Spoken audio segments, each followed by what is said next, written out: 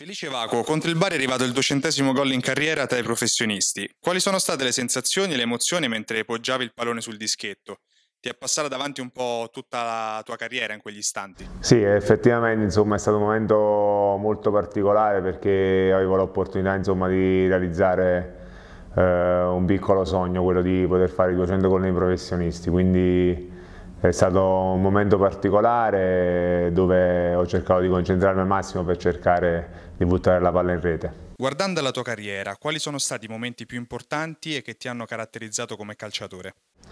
Ah, guardandomi indietro sicuramente le esperienze di Firenze ed Avellino sono state quelle più formative dal punto di vista professionale perché comunque ero giovane e ho avuto modo di confrontarmi con delle piazze davvero importanti.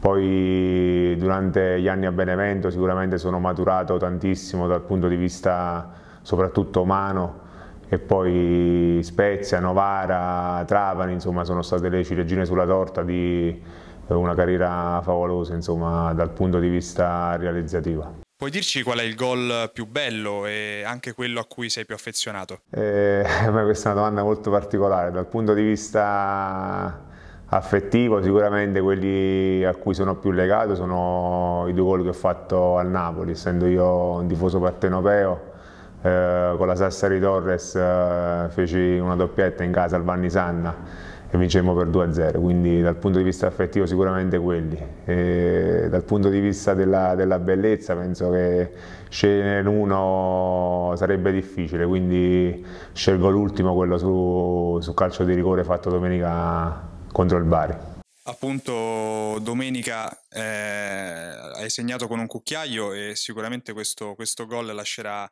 eh, il segno, una firma d'autore in un momento importante per la tua carriera. Eh, lo avevi già pianificato oppure è nato in quegli istanti prima di calciare?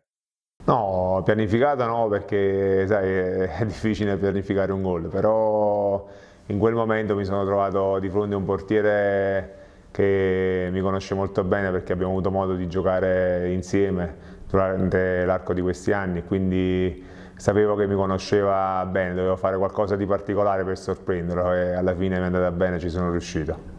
Un'ultima curiosità, a chi dedichi il duecentesimo gol ai professionisti? La dedica sicuramente va a mia moglie e ai miei figli, eh, perché comunque facendo il calciatore sono le persone che ti seguono di anno in anno e che fanno sacrifici con te per, per farti stare bene, quindi la dedica va sicuramente a loro. Hai giocato in tante squadre con tanti compagni, cosa ti senti di dire loro eh, in questo traguardo eh, così importante?